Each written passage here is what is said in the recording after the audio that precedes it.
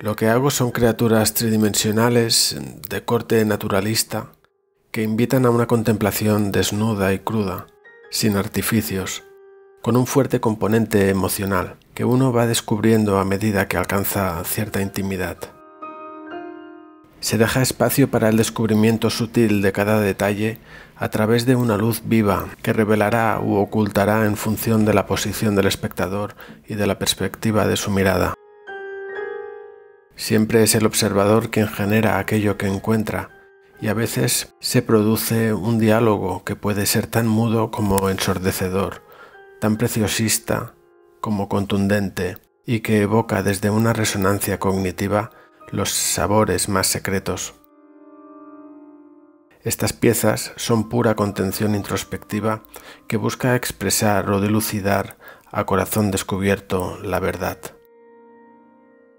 A medida que uno entra en la obra, afloran a la superficie texturas sutiles que se modulan con delicada aspereza.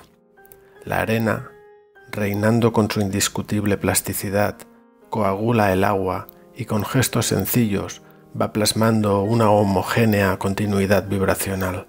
Las ondas reconcilian el movimiento con la quietud y acaso congelan las ideas en forma de símbolos tan frescos como eternos símbolos cristalizados que podemos tocar como una impronta que deja el alma.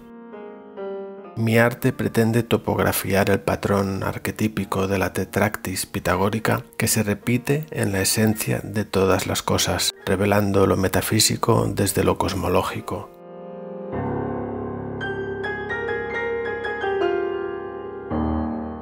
Pueden ser mandalas, pueden ser fotogramas tridimensionales, pueden ser el fruto de una meditación o secuencias rítmicas análogas a la propia naturaleza, o un algo que ocurre y escapa al lenguaje, y son un algo tan inefable que se dice a sí mismo, simplemente siendo. Durante el tiempo que dura ese lugar sagrado que es un cuadro, podemos encontrar ese principio solar siempre presente, que rebrota de las formas y que vivifica la conexión con lo trascendente. Todo desemboca en los cinco elementos que son uno.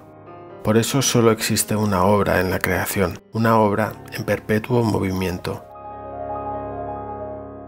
Lo intangible que se oculta a sí mismo para precisamente poder ser y luego se despliega en una suerte de corrientes de formas que cristalizan en lo concreto. Mis obras son una invitación a experimentar ese movimiento eterno que me anima. Te invito, pues, a sentirte también tocado por ello y a descubrir aquel misterio que grita abiertamente desde la poesía de la materia.